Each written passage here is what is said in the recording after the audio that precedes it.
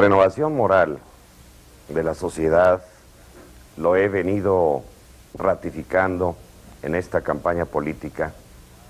Es una demanda efectiva de la sociedad. Por la renovación moral de la sociedad. Pero yo hice ver a la sociedad que la renovación moral era una tarea nacional, era una tarea de toda la sociedad y que cada parte debía de asumir su responsabilidad.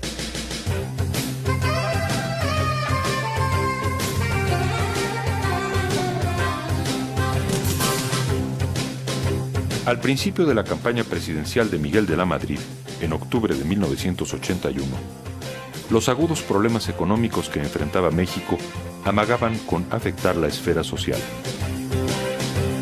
Para mí es un ah, privilegio poder servir a mi patria, máxime en momentos en que sabemos hay dificultades y problemas.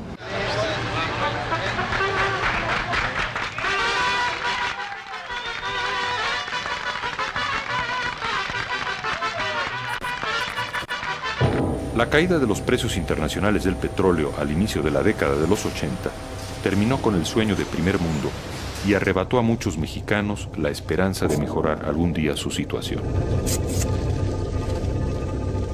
A los desposeídos y marginados, a los que hace seis años les pedí un perdón que he venido arrastrando como responsabilidad personal. La promesa de prosperidad en el sexenio de José López Portillo solo se cumplió para unos cuantos.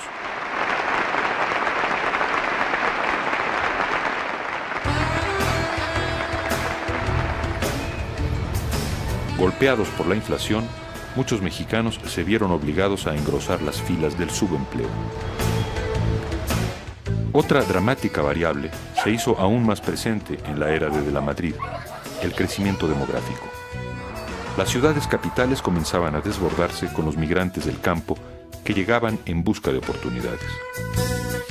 En ese cuadro de crisis económica, uno de cada dos mexicanos vivía en condiciones precarias. Desde el comienzo de su campaña, Miguel de la Madrid prometió no prometer lo imposible. Insistió en el tema que llamó la renovación moral de la sociedad.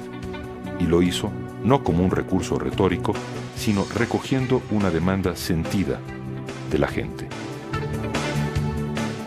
No toleraré corruptelas en el gobierno. Renovación moral significa gobernar con el ejemplo. En medio de la emergencia, la participación electoral del 4 de julio de 1982 fue una sorpresa mayor. Se redujo el abstencionismo y los ciudadanos votaron en un 68% a favor de Miguel de la Madrid. No hubo un misterio mayor en los resultados. Se trató de un voto por la renovación moral de la sociedad que proponía de la Madrid. Pero era también una revalidación de los mexicanos al derecho elemental de elegir a sus gobernantes y en ese sentido fue un voto por el voto. Tal vez un candidato fuerte en la oposición hubiese modificado los resultados, pero el votante creyó genuinamente en la novedosa propuesta del candidato del PRI. La interpretó como una declaración de guerra contra la corrupción y con ello le confirió una oportunidad de oro al nuevo presidente.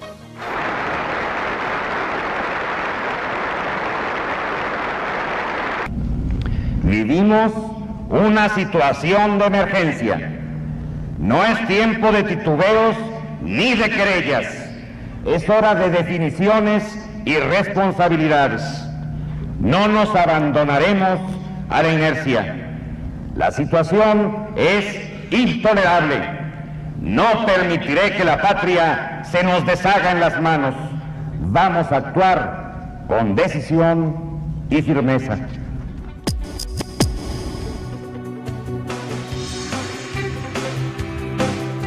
En su primer año de gobierno, Miguel de la Madrid mejoró notoriamente el desempeño económico interno y la imagen de México hacia el extranjero.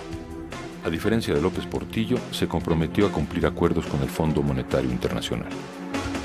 Desde un principio, eh, El objetivo principal del gobierno fue eh, estabilizar la economía, volver a darle a la nación condiciones para la actividad económica normal. Y para ello había que combatir eh, drásticamente la inflación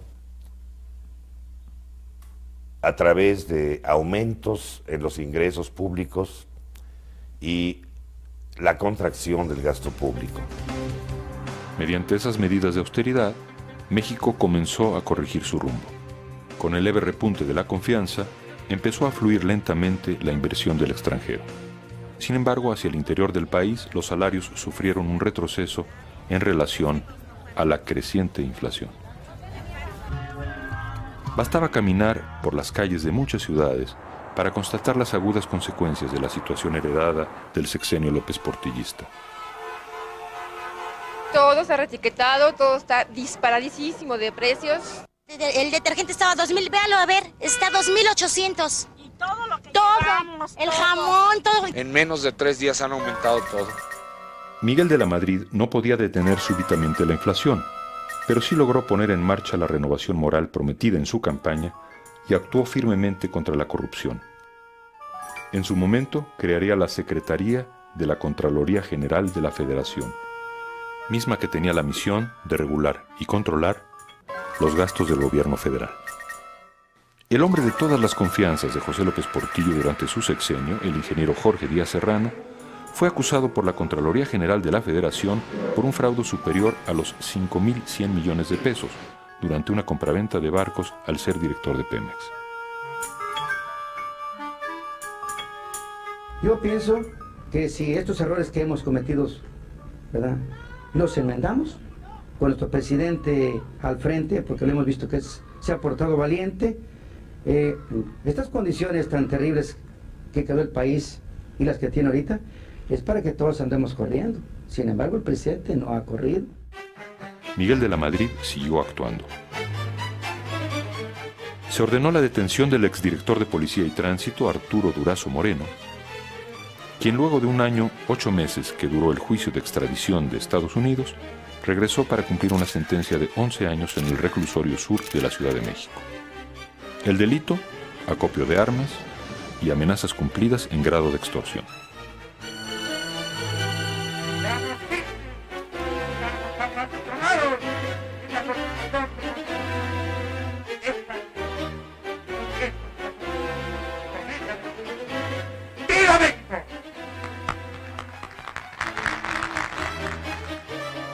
Quien sí supo sortear con éxito la tormenta de la renovación moral y se convirtió en un enorme tótem de piedra para Miguel de la Madrid fue el poderoso y popular líder petrolero Joaquín Hernández Galicia Laquina. El presidente le pidió al secretario de Programación y Presupuesto, Carlos Salinas de Gortari, encargarse del asunto.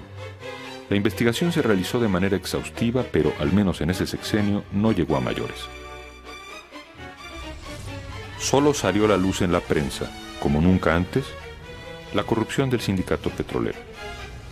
Se conocieron cifras, datos concretos, como el caso de El Trampas, comisionado del sindicato para cobrarle a Pemex los cheques de las llamadas obras sociales. A nombre del sindicato petrolero, El Trampas fue acusado penalmente por el segundo hombre de la quina, Salvador Barragán Camacho, por un supuesto fraude de 985 millones de pesos.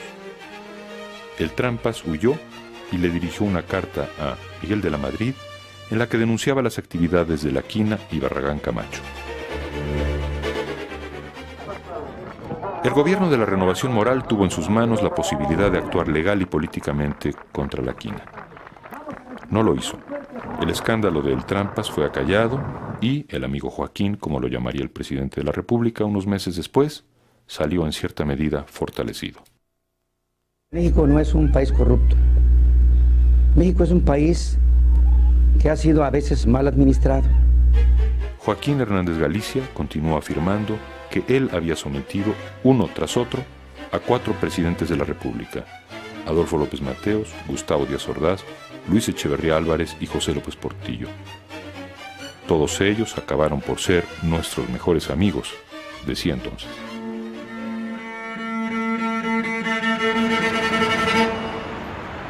En 1985, México parecía haber salido de la emergencia de 1982. Había paz social y cierta tranquilidad política. Pero la deuda externa seguía creciendo. Buscando aliviar la situación, Jesús Silva Herzog negoció a nombre del gobierno mexicano la deuda que el país tenía con la banca internacional. Pagos más pequeños, con mejores plazos y tasas de interés. El primero de septiembre, Miguel de la Madrid rindió su tercer informe de gobierno. Han sido tres años muy difíciles y lo que destaca es una conducción política acertada, cuidadosa, democrática, que ha mantenido al país en un camino de libertad, de orden, que ha permitido que sigamos trabajando, que ha permitido que los niños sigan en las escuelas, que México siga viviendo y produciendo. A los pocos días, la Ciudad de México sufrió un trágico despertar. Está temblando, está temblando un poquitito. No se asusten, vamos a quedarnos. Les doy la hora. 7 de la mañana, 19... Ah, Chihuahua. 7 de la mañana, 19 minutos 42 segundos, tiempo del centro de México. Sigue temblando un poquitito, pero pues vamos a tomarlo con una gran tranquilidad. Vamos a esperar un segundo para poder hablar. El jueves 19 de septiembre, un temblor de 7.8 en la escala de Richter, uno de los de mayor intensidad registrados en la historia de México, golpeó brutalmente a la Ciudad de México. Yo estaba vistiéndome después del baño, ahí en Los Pinos, y sentí el terremoto fuerte, y vi cómo se movían las lámparas. Pero acostumbrado como estaba a que los terremotos en México no pasaban a mayores, no, se me ocurrió que eh, el terremoto hubiera causado graves daños en la Ciudad de México. Casi de inmediato las multitudes ciudadanas se volcaron a las calles en un impresionante movimiento de solidaridad y auxilio a las víctimas. Por fin está saliendo un sobreviviente. Abundó un heroísmo masivo, espontáneo, genuino. Por la tarde, miles de muchachos de todas las clases sociales se arriesgaron entre las ruinas para lograr lo que se volvió voz común, sacar gente. Como pudieron, improvisaron toda clase de métodos de salvamento. Señor presidente, ¿qué ha sabido usted de su familia? No sabemos nada todavía. ¿En qué piso se encontraba cuando en el, en el quinto y el cuarto. No sabemos nada todavía y, claro, todavía, ¿qué, qué podemos decir? ¿Tienen esperanzas de encontrar todavía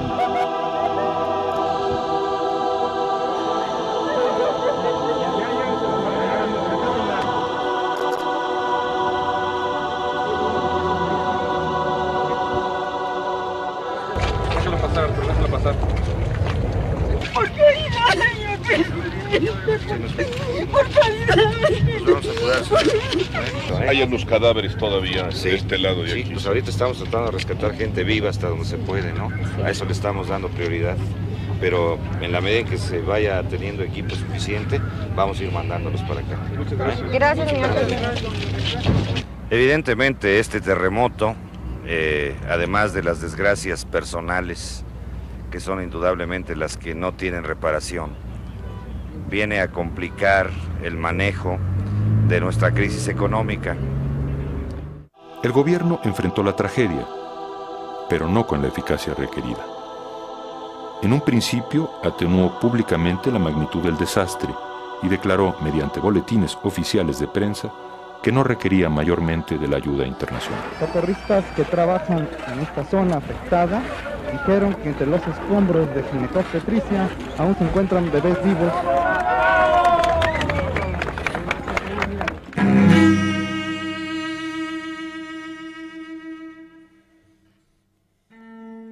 Al día siguiente, la Ciudad de México fue sacudida por un segundo movimiento telúrico de menor intensidad, 6.5 grados en la escala de Richter. El gobierno no aclaró cuántas víctimas cobró el desastre, ni las verdaderas dimensiones de las pérdidas.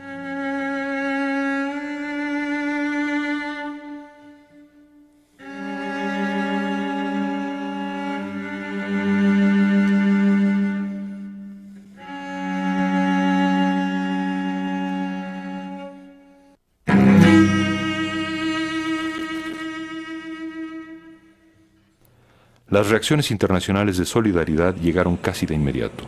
El pueblo, que enfrentaba los acontecimientos en las zonas del desastre, lo agradeció, pero también se quejó de que, en ocasiones, la ayuda no llegaba a sus manos.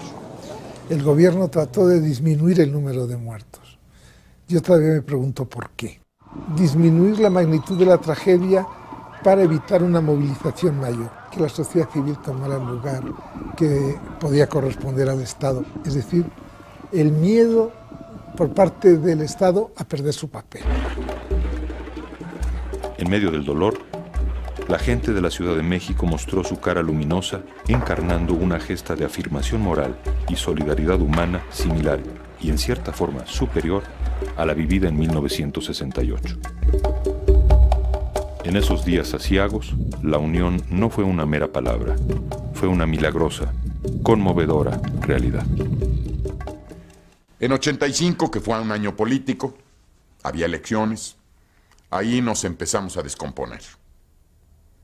Ahí ya la disciplina financiera y económica con la que se manejaron las cosas fue menor que en los años anteriores. Había una necesidad política, que es una realidad. Eh, las elecciones resultaron bastante bien y las desviaciones sobre el presupuesto original fueron salvadas, entre comillas, por el terremoto de septiembre de 85. Porque ahí le echamos la culpa al terremoto.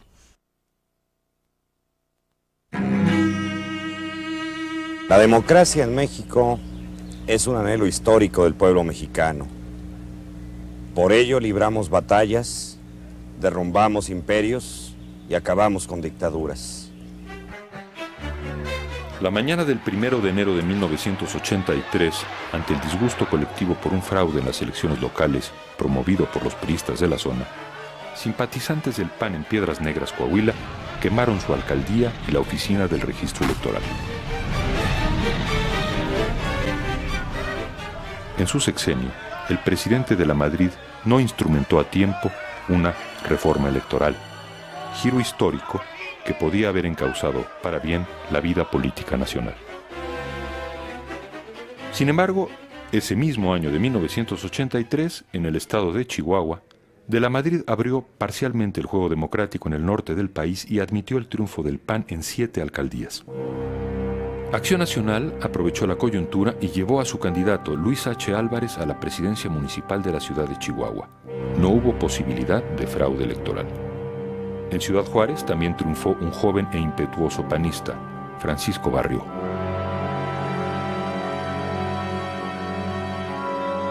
Fieles a su espíritu fundador, la vieja y la nueva guardia del PAN decidieron comenzar juntas, a partir de ese momento, una cruzada definitiva en favor de la democracia. Tres años después, en julio de 1986, tuvieron lugar las elecciones para nuevo gobernador en el estado de Chihuahua. Fernando Baeza fue el candidato del PRI.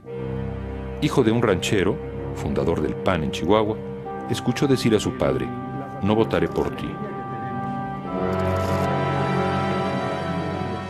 Desde la izquierda, el Partido Socialista Unificado de México, el PESUM, postuló a un viejo luchador social, el profesor Antonio Becerra Gaitán.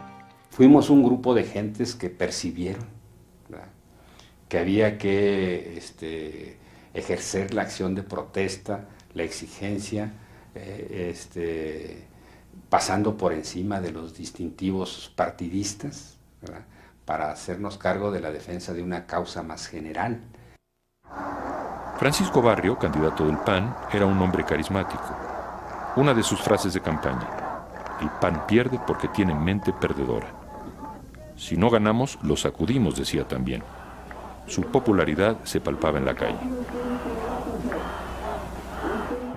El PAN denunció la suspensión de centenares de sus militantes en las listas oficiales, lo que hizo todavía más difícil a ese partido contar con suficientes funcionarios de casilla para supervisar la honestidad del voto. Este, otras personas que las han identificado que trabajan por el Partido Acción Nacional, les han quemado su casa, les rompen los vidrios y reciben agresiones físicas. En Chihuahua, la iglesia tuvo una participación destacada con la sociedad. impartió talleres para la democracia antes del día de las votaciones. Lo que la gente veía es, eh, tenemos a como de lugar, aunque barrio no sea de nuestras preferencias, a como de lugar quitar el PRI. Aquella mañana la gente desconfió y comenzó a protestar desde antes de conocer los resultados preliminares. No era casual. Había muchos precedentes de fraude electoral en Chihuahua. La protesta se generalizó en todo el estado y se manifestó en concentraciones multitudinarias, bloqueo de carreteras y otras acciones. No obstante, la victoria oficial se le asignó a Fernando Baeza y el tricolor declaró que había ganado las alcaldías de los siete municipios de Chihuahua en poder del PAN desde 1983. Era, nuevamente, el carro completo. Es cierto que la banda de atracadores electorales ha vuelto a atacarnos. Es cierto que en sus cálculos solo falta descargar los golpes finales y después a repartirse el botín. Las pruebas del fraude electoral se multiplicaron. Llegaron informes, testimonios, fotografías y documentos de todas partes del Estado que confirmaban las denuncias iniciales. Nuestro razonamiento era, aquí se siguen haciendo fraudes electorales porque a nadie le cuestan, ni le cuestan al sistema, ni le cuestan a los operadores políticos que los realizan. Al contrario, los premian. Vamos buscando que este fraude cueste y cueste caro, para que haya un desaliento, que haya un motivo para, para cuidarse de volver a hacer este tipo de, acciones. Luis H. Álvarez se declaró en huelga de hambre el PAN comenzó un vasto movimiento de resistencia civil. Y en un acto sin precedente, 21 intelectuales firmaron un manifiesto que se publicó en los principales diarios del mundo pidiendo la nulidad de los comicios. El secretario de Gobernación, Manuel Bartlett, invitó a algunos de ellos a cenar y les insinuó que era imposible ceder a sus peticiones porque la victoria del PAN en Chihuahua abría las puertas a tres enemigos históricos de México, la Iglesia, los Estados Unidos y los empresarios. Con eso el gobierno dio carpetazo al asunto. Periodo de la Madrid, después del episodio chihuahuense, cuando fue cuestionado y requerido fuera del país, él no tuvo empacho en manifestar que era obligado el fraude patriótico para impedir que fuerzas retardatarias, reaccionarias, pudieran estar en condiciones de gobernar el país. Lo reconoció tácitamente, abiertamente. Fue así como el esperanzador gobierno de la renovación moral perdió la gran oportunidad de encabezar en 1986 el cambio democrático de México.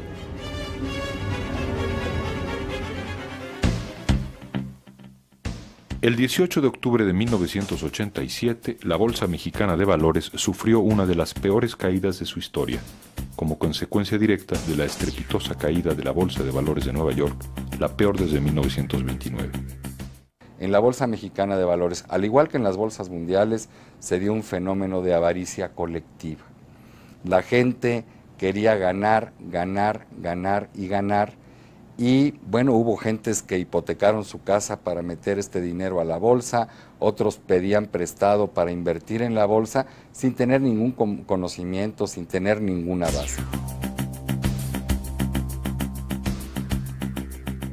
Un mes después, el titular de la Secretaría de Hacienda y Crédito Público, Gustavo Petriccioli, informó en un comunicado que el Banco de México le había anunciado su retiro del mercado libre de cambios de moneda extranjera. En esencia, se trataba de una devaluación de más del 40%. Not too many Americans are aware that in the aftermath of Wall Street's Black Monday crash, the Mexico City stock market has lost more of its value than any exchange in the world. Now, a sudden collapse of the Mexican peso, another collapse of the peso, means harder times ahead for Mexico's already hard-pressed poor and for U.S. immigration officials. The speculation was wild some places and nervous everywhere. It all adds up to good news for American tourists. A trip to Mexico suddenly becomes a real bargain. American dollars will go further down there. ¿Puede el gobierno solo? Nos preguntamos entonces, ¿puede el gobierno solo bajar la inflación en forma rápida y dramática? ¿Lo puede hacer el gobierno? ¿Tiene los instrumentos para hacerlo? Y la verdad del diagnóstico eh, angustioso de aquellos días donde nos daban los reportes de precios y subían los precios cada día, cada día y cada día más, la gente estaba furiosa con toda razón, porque no hay nada que golpee más al pueblo que la inflación. El gobierno del presidente de la Madrid buscó una salida ante la difícil situación económica del país. Estableció un pacto de solidaridad económica entre el gobierno, empresarios, obreros y campesinos para detener la desbocada inflación. Este pacto logró reducir el índice de inflación, que para entonces llegaba casi al 200%, a menos del 70%. Con ello se alivió la economía nacional, al menos durante los primeros seis meses de establecido. Desafortunadamente, pasados esos seis meses, el índice de inflación se disparó de nuevo. Por otra parte, Miguel de la Madrid apuntó un logro histórico con la firma del Acuerdo General sobre Aranceles y Comercio Aduanero, el GATT, que abrió sensiblemente por primera vez las puertas de México al comercio exterior. Al mismo tiempo, comenzó el importante proceso de privatización en algunas empresas paraestatales.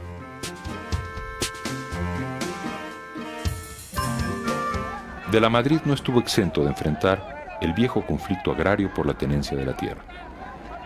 Dos marchas campesinas llegaron hasta la capital, una con más de 5.000 indígenas chiapanecos, la otra con más de 70.000 campesinos de diferentes regiones del país. Las dos apuntaban la existencia de lo que llamaron latifundios simulados y exigían el retiro de la seguridad pública y del servicio a los mismos. Se dieron otros movimientos sociales en el campo mexicano, como el caso de Juchitán, Oaxaca, lugar de un proverbial espíritu guerrero. En Juchitán hubo una confrontación entre las fuerzas de caciques priistas y los miembros de la coalición obrera campesina estudiantil del Istmo de Tehuantepec, COSEI. Hubo muertos.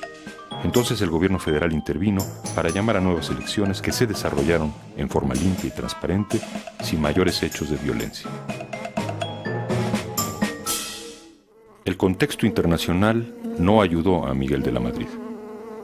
Con la llegada de Ronald Reagan a la presidencia, los Estados Unidos construyeron bases militares y brindaron asesoría a los países centroamericanos para hacer frente a los movimientos guerrilleros. Esto provocó que muchos guatemaltecos y salvadoreños emigraran a países vecinos, principalmente a México. Miguel de la Madrid se preocupó de que con esos indocumentados llegase también la guerrilla al país. Por ello, y para afirmar un legítimo ascendiente mexicano en la zona, en 1983 de la Madrid decidió establecer un organismo mediador internacional que participara activamente en la negociación por la paz en Centroamérica, el Grupo Contadora. Eh, el gobierno de Estados Unidos uh, obstaculizó las tareas de Contadora.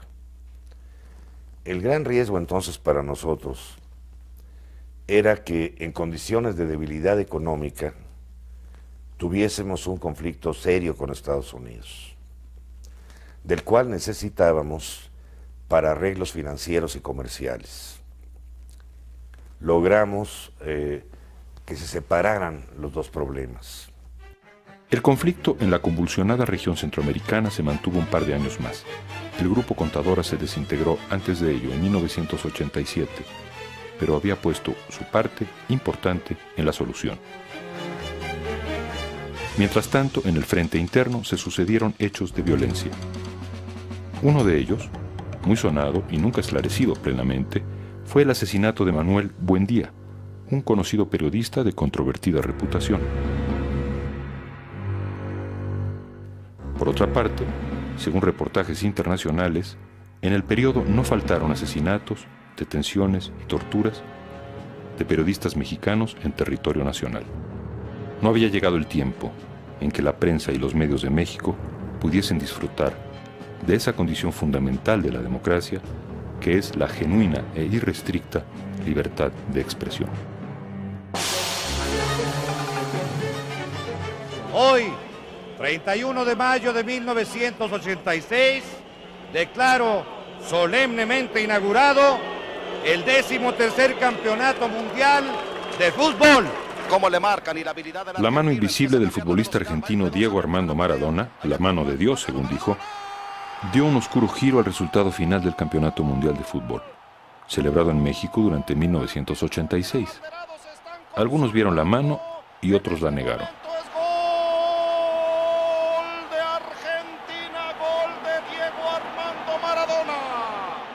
También en el sexenio de Miguel de la Madrid existieron manos políticas. Unas se veían, otras no. Son los tecnócratas, son los que saben, son los que se prepararon en las mejores universidades eh, del extranjero y reclaman ahora su derecho a ser los que dirijan el sistema porque los políticos tradicionales, los eh, abogados, los licenciados, los que nada más pasaron por la UNAM, habían eh, hecho pedazos su, oportunidad, habían puesto en peligro el sistema. Ellos, los que venían de Harvard, como de la Madrid eh, mismo, los que venían de Yale, de Princeton, estaban ahora exigiendo su turno y lo hacían mostrando la pedacería que había dejado lo que se llamó con un enorme desprecio el populismo. Mientras tanto, Carlos Salinas de Gortari comenzó la reafirmación de su poder político desde la Secretaría de Programación Presupuesto y hacia adentro del PRI. Dos formas distintas de concebir a la nación comenzaron a enfrentarse.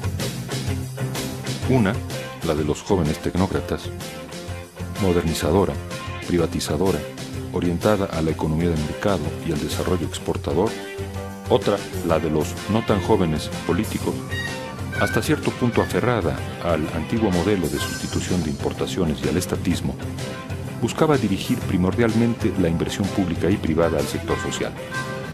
En lo político, el primer grupo eligió un candidato por la vía convencional, la del dedazo, el segundo grupo, en cambio, exigió formas políticas más abiertas y equitativas al interior del PRI. En todos los casos estaremos rechazando la imposición y el tapadismo. El 11 de marzo de 1987, el PRI publicó un escueto comunicado en el que se informaba a los dirigentes y militantes del partido en todo el país la decisión personal de Cuauhtémoc Cárdenas de no colaborar más con ese partido. Maniobra que utilizó la llamada fracción tecnócrata ya entonces encabezada por Salinas de Gortari, para separar a Cárdenas del partido. El exgobernador de Michoacán, el hijo de Tata Lázaro, contestó que se trataba de una interpretación errónea a sus propuestas. Una nueva corriente crítica gestada hacía unos meses dentro del PRI reafirmó su postura rechazando la imposición presidencial y el tapadismo. Se autodenominó Corriente Democrática y la encabezaba Cuauhtémoc Cárdenas. Ah, como tesis que el PRI debía abrir de tal manera sus procesos de designación de candidato a la presidencia de la República. Pero había una discrepancia de más fondo de ese grupo. Había una discrepancia, una crítica a la política económica que yo había seguido. En su primer documento de trabajo, la Corriente Democrática propuso que se ampliara el debate y el análisis de los grandes problemas del país. La mayoría del PRI no los escuchó, los repudió. Yo hablé personalmente con el ingeniero Cuauhtémoc Cárdenas y con Porfirio Muñoz Ledo. Traté de insistirles en que se quedaran en el PRI, que podíamos llegar a arreglos, que podíamos eh, abrirles nuevas oportunidades políticas dentro del partido, pero que trataran el asunto con el partido. Esto no fue posible. Entonces Cárdenas, junto con otros priistas destacados como el expresidente del PRI y exsecretario de Estado durante el sexenio de Echeverría, Porfirio Muñoz Ledo, recogieron la bandera democrática que el gobierno inexplicablemente había despreciado e hizo lo insólito. Se la llevó fuera del PRI. En su momento, de la Madrid comentó, es mejor que se vaya. Las acciones y propuestas de la corriente democrática en torno a la elección del candidato hicieron reaccionar a las viejas estructuras y a la presidencia del PRI. Por ello, trataron de establecer una nueva forma de candidatura aparentemente más democrática. Dentro del partido nombraron a un grupo de priistas distinguidos para que se exhibieran en pasarela y de allí elegir al nuevo candidato. Esta nueva forma de hecho no funcionó, porque como siempre, el sucesor ya estaba elegido. He comprometido mi vida con la política. Cárdenas y Muñoz Ledo no tuvieron tiempo de organizar un partido político para esas elecciones de 1988. Sin embargo, Cuauhtémoc Cárdenas aceptó ser postulado por una coalición de diversos partidos. De concluir la campaña electoral. Y un día antes de la fecha límite para el cierre del registro oficial, el candidato de la izquierda, el ingeniero Eberto Castillo, cabeza del Partido Mexicano Socialista, tuvo el acierto de declinar su candidatura para apoyar al hijo de Lázaro Cárdenas. Claudicaremos ante un proyecto que desconoce las grandes luchas del pueblo mexicano, que convierte el país en el negocio particular de unos cuantos y lo entrega al extranjero. Por el PAN contendió un empresario de Sinaloa, un exalumno del TEC de Monterrey y antiguo jugador de fútbol americano, que ahora empleaba sus técnicas de fullback para defender la vergüenza cívica de los mexicanos y atacar a la tramposa defensiva del PRI, valeroso Manuel Cloutier.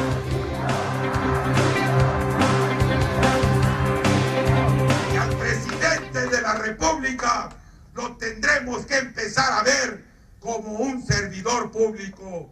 Lo tendremos que empezar a ver como el cartero, como al policía, como alguien que sirve al pueblo y no que se sirve de él. La campaña presidencial de Cárdenas, Cloutier y Salinas de Gortari fue creciendo con una intensidad inaudita. México vio el nacimiento de una verdadera fuerza de oposición política. Ríos de gente salieron a la calle para manifestarse en contra del PRI. Las campañas políticas se convirtieron en una fiesta popular.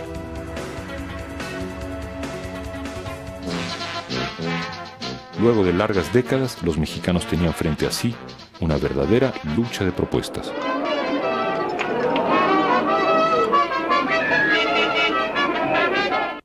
Esta elección no nos la van a robar. Esta elección la vamos a defender porque tenemos con qué defenderla. Tenemos convicciones y autoridad moral. Habrá pues, amigos míos, que reordenar el desorden. Ese es el objeto de la resistencia civil. El volver al orden lo que el gobierno ha desordenado. No tengo compromiso con ninguna continuidad, excepto la de fortalecer los principios fundamentales del pueblo mexicano. El día de las elecciones muchos mexicanos no se abstuvieron. Votaron. El PRI estuvo en peligro de perder la silla presidencial, pero en la noche, al finalizar las elecciones, una mano invisible dio un oscuro giro al resultado obtenido en las urnas. Unos vieron la mano y otros la negaron. Lo cierto es que Carlos Salinas de Gortari se convirtió en el presidente electo de México. Y en su último informe de gobierno, en un acto sin precedente en la historia reciente de nuestra presidencia imperial, Miguel de la Madrid fue interpelado por 13 legisladores de la oposición, quienes coreaban sin tregua su repudio al fraude electoral.